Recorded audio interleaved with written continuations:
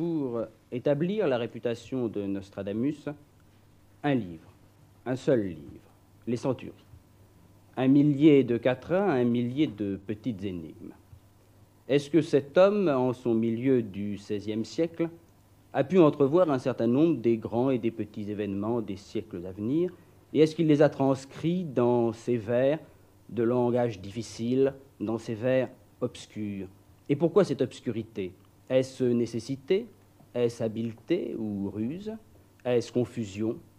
Est-ce expression poétique? Eh bien, c'est pour euh, tenter euh, de vous aider à voir un petit peu plus clair sur tous ces points qu'ont bien voulu participer ce soir à notre émission le docteur Ferdière, qui est vice-président de la Société française de l'expression, Serge Hutin, à qui l'on doit l'intéressante préface de la dernière édition des prophéties de Nostradamus, Jean-Pierre Dubois-Dumay, journaliste catholique, André Barbeau, astrologue, et Michel Rouzet, journaliste, écrivain scientifique. Vous avez, euh, en voyant euh, cette émission, entendu un certain nombre de ces prophéties de Nostradamus, certaines dans le texte même, celles qui étaient, euh, disons, le, plus claires, le plus compréhensibles directement, d'autres dans leur traduction habituelle. Si je puis dire, croyez que ce n'est pas la mienne, c'est celle que les exégètes ont l'habitude de proposer. Je voudrais savoir ce que vous avez pensé, ce que vous avez ressenti en les entendant, et je me tourne directement vers Michel Rouzet, qui est ici le représentant des sciences exactes. J'ai d'abord éprouvé un grand plaisir parce que je dois vous avouer que j'ai toujours eu un goût pervers pour les histoires fantastiques, les récits de fantômes, de prémonitions et euh, autres euh, histoires de ce genre. Cela dit, vous avez traité le sujet avec une grande habileté en mêlant l'histoire et la légende de Nostradamus, et c'est peut-être cette habileté qui, à la fin, m'a gêné. La littérature de fiction et la littérature qui fait appel au surnaturel est supportable pour moi à condition qu'il y ait une sorte de clin d'œil vis-à-vis du spectateur, qu'on ne lui demande pas d'y croire profondément, mais d'y croire de la façon particulière dont le spectateur croit à l'action à laquelle il assiste. Or, vous allez plus loin. Vous nous demandez vraiment de croire à la valeur prophétique des centuries. Et c'est là que je me sens un petit peu gêné dans mon plaisir. Vous le faites certes après beaucoup d'exégètes, de commentateurs, dont le premier a été Chavigny, que vous présentez lui-même, et bien d'autres après lui. Et votre œuvre s'inscrit à la suite, c'est-à-dire qu'elle reprend ce qui a déjà été ajouté à la légende de Nostradamus et qu'elle s'y ajoute elle-même. Eh bien, écoutez, avant de demander euh, d'autres opinions, je voudrais tout de même préciser une chose, c'est que euh, ce parti pris que vous avez ressenti n'est possible, n'est acceptable dans cette émission que parce que vous êtes ici ensuite pour très librement et très tranquillement dire le contraire si vous en avez envie, ce que vous venez de faire. Je vous en remercie. Eh bien, moi, je voudrais répondre de manière très directe là, que c'est justement cette absence de clin d'œil qui me satisfait pleinement. Car j'ai besoin de cette expression, qui est une expression à proprement parler poétique, pour répondre à ce que celui-là disait tout à l'heure. J'ai besoin de cette atmosphère de poésie, j'ai besoin de me souvenir continuellement que Nostradamus n'écrivait pas en prose, qu'il utilisait des vers, que ces vers avaient un rythme. Nous y reviendrons si vous voulez, nous parlons de tout cela. Et c'est cela, moi, qui me satisfait, et qui satisfait en moi non seulement euh, le poète, mais le savant puisque je me refuse à cette opposition systématique de la science et de la poésie dont nous avons souffert trop longtemps. Je pense que des émissions comme celle-ci peuvent nous permettre de résoudre une fois pour toutes. Vous parlez du prophète ou de la valeur prophétique de Nostradamus. Pour ma part, je pense qu'il y a une difficulté dans l'emploi de ce langage, parce que prophète a pris un sens de, prédiction de l'avenir, et ça n'est pas le véritable sens du mot prophète. Il me semble pas nous qui l'avons inventé. non, c'est celui qui est employé, mais il me semble qu'il faut éviter de l'employer dans une certaine mesure, parce que ça n'est pas son sens propre. Le, prophète dans l'Ancien Testament, ce n'est pas quelqu'un qui annonce l'avenir, c'est quelqu'un qui, qui, vient et qui parle au nom de Dieu, qui apporte un message et qui apporte une espèce d'instruction. Alors il lui arrive quelquefois de parler de l'avenir, effectivement, mais euh, non pas pour le prédire d'une manière précise, simplement pour dire s'il y a une alliance entre Dieu et, son peuple, et cette alliance, si elle est rompue, il va se passer telle catastrophe. Et d'ailleurs, euh, il ne se passe pas toujours les catastrophes qui sont annoncées, même dans l'Ancien Testament. Serge Jutin, dans, dans, votre préface, vous citez un certain nombre de ces, de ces quatrains et euh, vous mettez le doigt sur un certain nombre de coïncidences qui sont tout de même euh, apparemment assez troublantes. Je pense en particulier à cette apparition du mot Varenne qui est, je crois, une, des clés euh, pour ceux qui ont choisi de croire dans les prophéties de Nostradamus. Permettez que j'emploie encore, pour simplifier les choses, ce mot de prophétie. Eh bien, je suis absolument persuadé qu'un certain nombre de quatrains de Nostradamus sont absolument clairs, car les faits décrits cadre avec une précision totale avec des faits historiques bien connus. C'est le cas pour des événements de la Révolution française, dont le fameux quatrain euh, où le nom de Varennes figure en toutes lettres. C'est le cas pour un certain nombre de quatrains qui prédisent l'ascension et la chute de Napoléon, mais c'est le cas aussi pour d'autres prédictions qui, semble-t-il, euh, sont vraiment matériellement prouvées comme par exemple le fameux vers où est annoncée euh, l'exécution d'un roi d'Angleterre. Donc c'était l'exécution de Charles Ier d'Angleterre. Il y a euh, toutes sortes de passages très curieux qui posent, je crois, des problèmes dépassant le simple hasard. Il y a euh, une description assez précise, par exemple, des bombardements aériens de la Seconde Guerre mondiale et il y a nombre euh, d'observations qu'on pourrait faire. Mais ce qu'il y a, je crois, de très important et qui prouverait l'authenticité des pouvoirs de, disons, de voyance, pour simplifier, de Nostradamus, euh, c'est que Nostradamus demeure un homme du XVIe siècle, évidemment, et quand il décrit euh, des événements qui se passeront par rapport à lui dans le futur, euh, il les décrit de la manière dont, le dont les décrirait un homme du XVIe siècle, d'où euh, un, accroissement d'obscurité euh, des quatrains. Le, le, fameux quatrain auquel on vient de faire allusion, qui prédit, paraît-il, la mort de Louis XVI, est un exemple de la façon dont procèdent les exégètes. Dans la masse des textes de Nostradamus, on trouve un mot qui se trouve avoir ensuite pris place dans l'histoire. En l'espèce, c'est un, nom propre assez banal, Varennes. Il y a des tas de localités en France qui portent ce nom, des tas de gens qui le portent. Une Varennes, c'est une Garenne, c'est une autre forme du même mot. Il y a à Paris une rue de Varennes, il y a eu un gouverneur de l'Indochine qui s'est appelé Monsieur Varennes. C'est un nom très répandu. Il se trouve qu'un roi de France a connu l'aventure que nous savons dans le village de Varennes. À partir de là, on prend le quatrain, on utilise dans ce quatrain les mots que l'on peut rapprocher de cette histoire, par un bienheureux hasard, on peut trouver une syllabe qui, euh, qui fait partie du nom du roi. Le reste, on se garde bien de l'expliquer. Ou alors, on va jusqu'à prendre le mot noir qui est dans ce quatrain et à prétendre qu'il signifie roi en supprimant la lettre N et en mettant l'air à la place de l'aine. J'ai lu quelque part cette interprétation. Comme événements historiques qui se sont passés dans un pays nommé Varennes, il n'y a que la fuite du roi, l'arrestation du roi en fuite à Varennes. Qu'est-ce qui s'est passé comme événement historique dans la forêt de Rennes, dont il est question également dans ce quatrain Il y a un autre nom propre, il y a trois noms propres dans ce quatrain. Que s'est-il passé comme événement historique? Comment voulez-vous, dans une œuvre où il y a mille noms propres, il n'y ait pas un événement historique qui se passe un jour là-dedans? Ou dix événements historiques? On a d'ailleurs l'impression que Varennes a été pris pour la rime, enfin, et comme vous le disiez, j'ai vérifié. Nostradamus lui-même avoue que la rime joue un rôle essentiel. Il, le dit au moins en deux passages. Mais Nostradamus affectionne enfin les jeux, la virtuosité technique, disons, euh, de ses vers.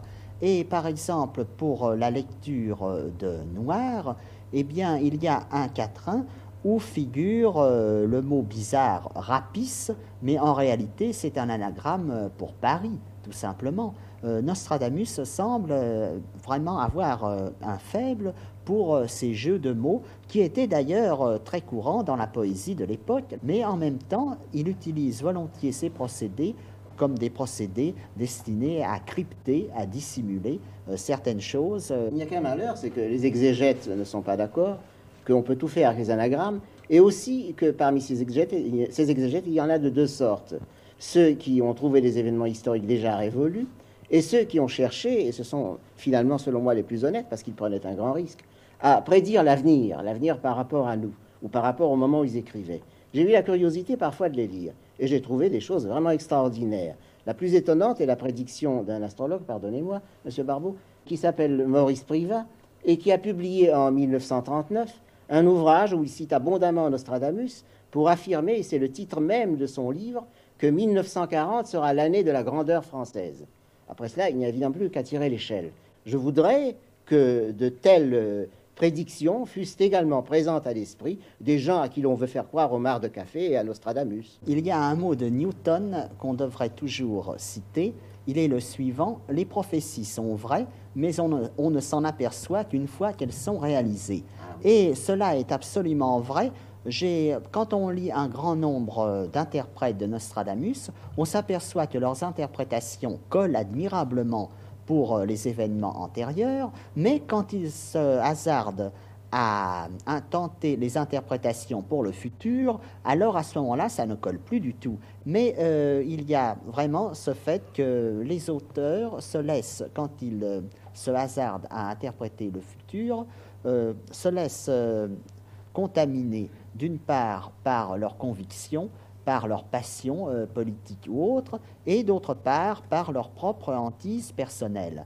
Monsieur André Barbeau, puisqu'on a dit qu'un astrologue avait tenté de- de- d'expliquer, est-ce que c'est bien le rôle d'un astrologue que de tenter de trouver la vérité chez Nostradamus? Ah, le rôle de l'astrologue, c'est de préciser exactement ce que sont les, les prophéties de Nostradamus, relativement précisément à, l'astrologie, car on a trop tendance à confondre les deux. Nostradamus a vécu au temps de l'âge d'or de l'astrologie. Il était l'astrologue euh, officiel d'une reine de France. Et bien entendu, on est par-dessus le marché. Nostradamus a mis les planètes dans la ronde de ses quatrains. On est tenté de considérer que Nostradamus, d'ailleurs, il l'a laissé vaguement entendre, euh, qu'il faisait des prophéties basées sur les phénomènes astronomiques. En fait, il n'en est rien.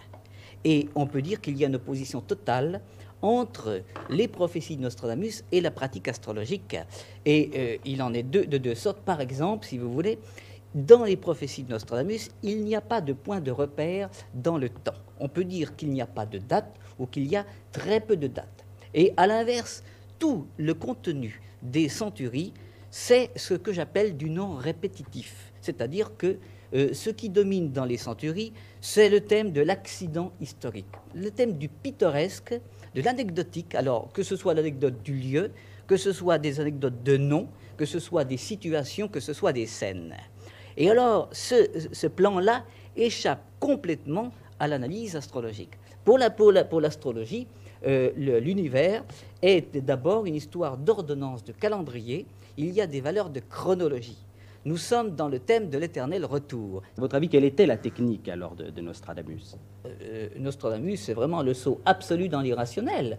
Euh, Nostradamus ne peut s'expliquer comme un phénomène, euh, disons, parapsychologique. Euh, alors, il est, euh, suivant euh, que l'on est pour ou que l'on est contre, il a, des eu des intuitions, des perceptions, n'est-ce pas, dans, le temps ou dans l'espace, on peut l'admettre. Après tout, il faut se méfier d'un ra- d'un rationalisme trop étroit. Euh, et puis, surtout, il faut se méfier du fait que nous sommes devant l'irrationnel, et nos réactions devant l'irrationnel sont des réactions extrêmement douteuses. Il faut bien en convenir, en toute honnêteté intellectuelle. Eh Bien, je proteste même contre le mot parapsychologique, car je crois qu'on signifie par parapsychologique para-rationalisme, parce qu'on a horreur du rationalisme.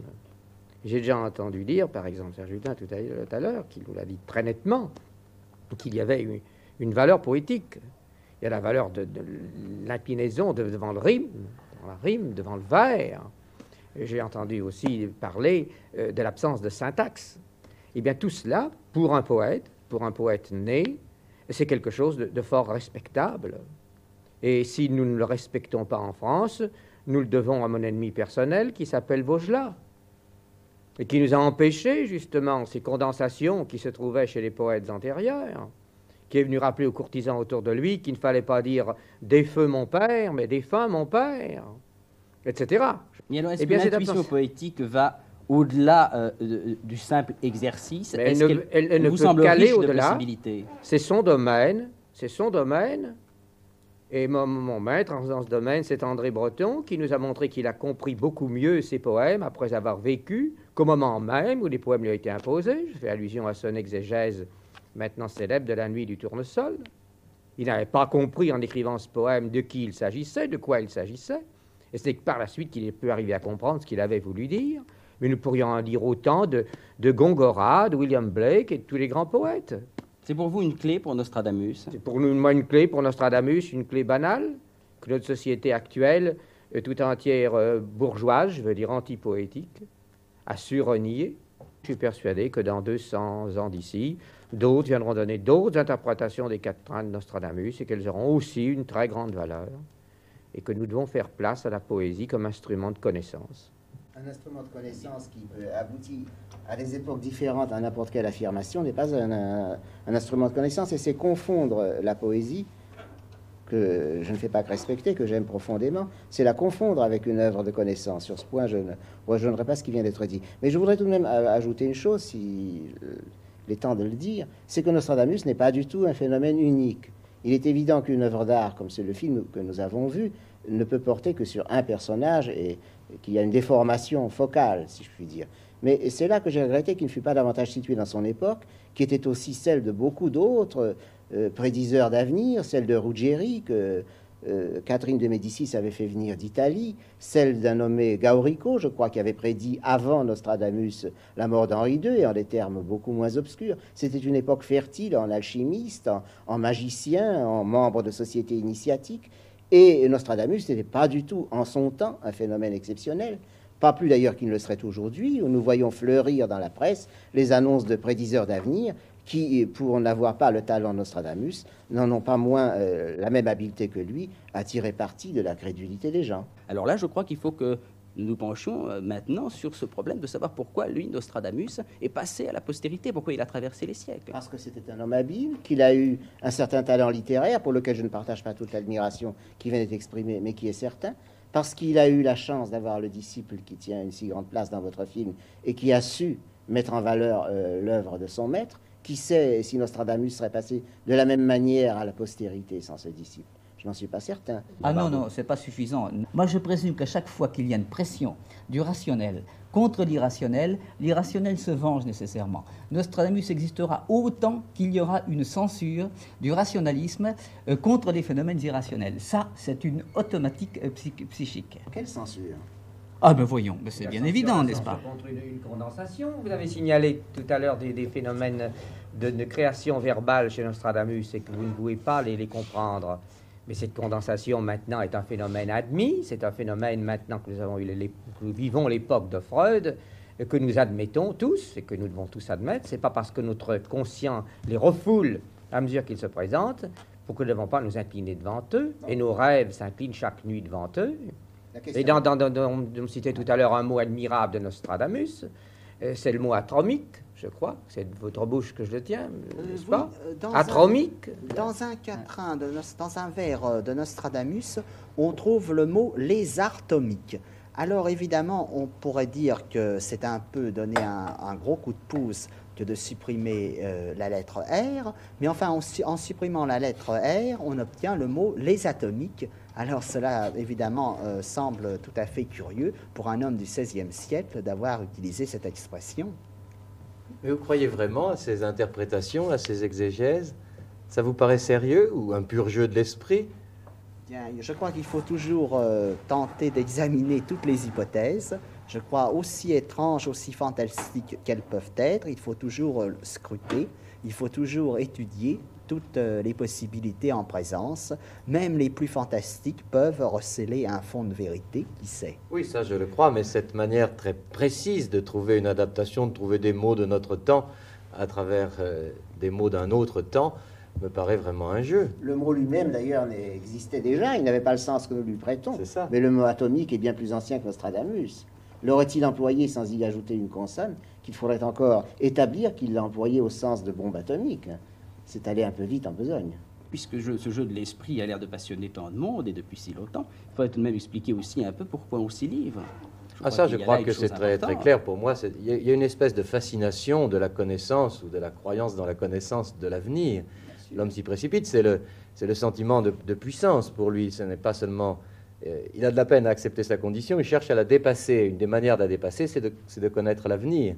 Donc je crois que c'est un, un penchant, une tendance naturelle de l'homme et que c'est cela qui explique le succès de toutes ces divinations, à La proprement pitié parler. de Delphes et la Sibylle de Plume, avant lui, n'avaient pas moins de succès. Vous n'empêcherez jamais, vous n'empêcherez jamais Non, il jamais les puissances de l'imaginaire. Les puissances de l'imaginaire, elles ont à s'imposer à nous autant que les autres. Elles ont le droit de citer comme les autres. Bien sûr, mais Ce qui est plus admirable dans le fantastique, c'est pas moi qui l'ai dit, c'est qu'il est partout.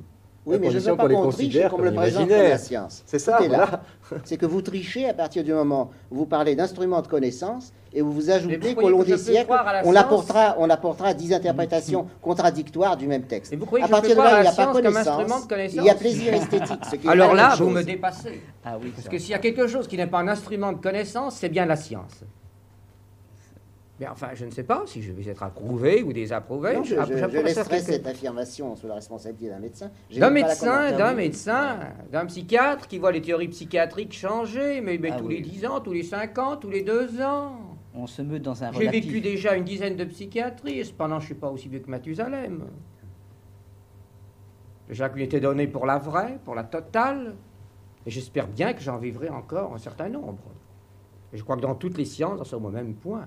J'admets très bien votre, votre goût de l'imaginaire, et j'y participe, bien sûr, mais c'est tout de même, il y a tout de même quelque chose d'assez presque dangereux, enfin du point de vue même de la situation de l'homme, dans un refus d'accepter euh, ce qu'il est, dans un désir d'être d'être autre chose, car euh, la prédiction, enfin si elle est réelle, si vraiment, si vraiment on peut prédire l'avenir, je crois que la condition de l'homme à ce moment-là est abolie, complètement abolie.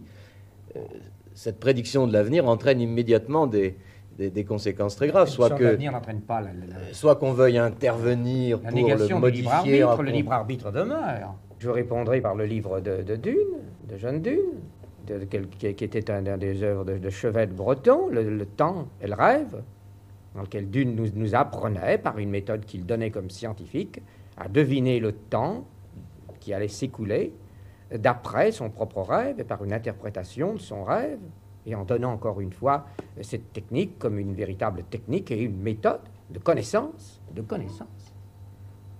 J'admire que les, les irrationalistes aujourd'hui soient les pires déterministes. Ah non, non. Pas le moins du monde. Pas du tout.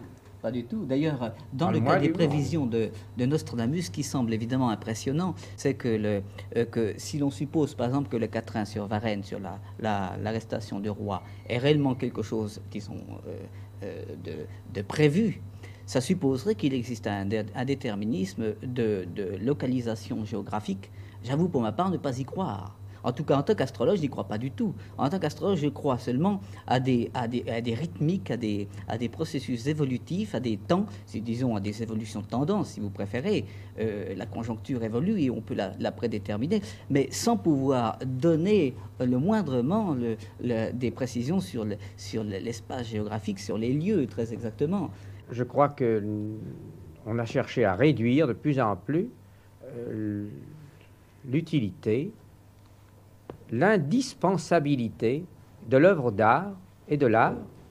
Et puisque vous me parliez tout à l'heure de science, je pense que celui qui, dans le domaine scientifique, a vu le plus clair, c'est un homme de lettres, c'est un romancier, c'est Jules Verne, qui nous a tout deviné, tout apporté à l'avance, ce que les scientifiques de son temps avaient eu aucune notion de faire. Il ne même pas euh, soupçonné. Et au contraire, il, tra- il le traitait d'illuminés. J'adore les illuminés. Je crois que c'est parmi eux qu'il nous faut vivre et que c'est eux qui nous construisent un monde meilleur de demain.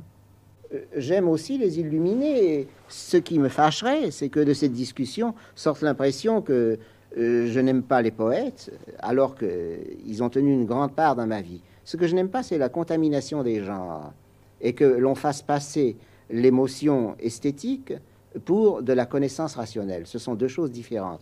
Quant à Jules Verne, il n'a rien prévu qui ne fut prévisible de son temps. Et si l'on prend le détail des inventions qu'il imagine, il y en a quelques-unes qui ne se sont pas réalisées ou qui se sont réalisées très différemment. Ce n'est vraiment pas un prophète. Je n'ai jamais dit qu'il était un prophète. Non, c'est vrai. Mais je vais vous demander à chacun très simplement, et il faut répondre à la question banalement par oui ou par non, si vous croyez au prophète Nostradamus, docteur Ferdière. Mais je crois à tous les poètes. Je range Nostradamus parmi les poètes. Rimbaud aurait dit parmi les voyants. Et si on me demandait de chercher dans l'époque actuelle un Nostradamus, et c'est parmi les poètes que je le trouverais. Je crois que je choisirais Raymond Roussel, moi, personnellement. Jean-Pierre Dubois-Dumay. Je me rallierais plutôt, en effet, à une conception poétique, mais qui est simplement de l'ordre de, de l'imagination libre et qui n'a absolument aucune valeur de connaissance de l'avenir. Je réponds fondamentalement non à votre question. Je ferai la même réponse. Il y avait aussi chez lui une part, disons, d'habileté journalistique, car c'était un faiseur d'almanach, comme on en faisait beaucoup à cette époque, et qui a eu plus de succès et sans doute plus de talent que ses confrères. Quant à la valeur des centuries euh, comme pronostication de l'avenir, je n'ai vraiment pas plus de raison d'y croire, après comme avant notre rencontre d'aujourd'hui, qu'à la valeur des pronostics de Madame Carmen qui fait le tarot au coin de ma rue. Euh, pour ma part, je considère Nostradamus comme un témoignage de notre civilisation à un certain égard, euh, qui peut-être trouvera une place plus riche, plus appréciée dans un avenir plus lointain, mais enfin, je crois qu'il euh, est peut-être un cas où l'imaginaire est capable de rejoindre le monde. Cela dit, sur le plan prophétique, non.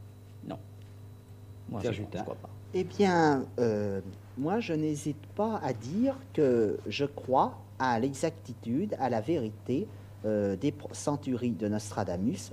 Je crois qu'effectivement, Nostradamus a réalisé l'exploit de voir des événements qui, par rapport à lui, se situaient dans le futur.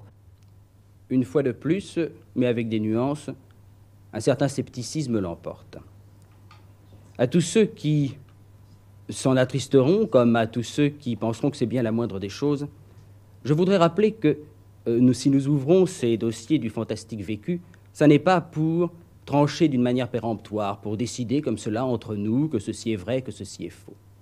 Mais c'est euh, pour vous permettre, en voyant euh, le témoignage de ce qu'ont vécu ou ont cru vivre certains personnages, en voyons le témoignage de, des pouvoirs qu'ils ont cru avoir ou qu'ils ont eus, pour que vous puissiez vous faire une idée. Et aidés en cela par les personnalités qui viennent se joindre à nous et euh, qui vous apportent soit l'éclairage de la science moderne, soit parfois euh, la défense d'esprits euh, moins rationnels.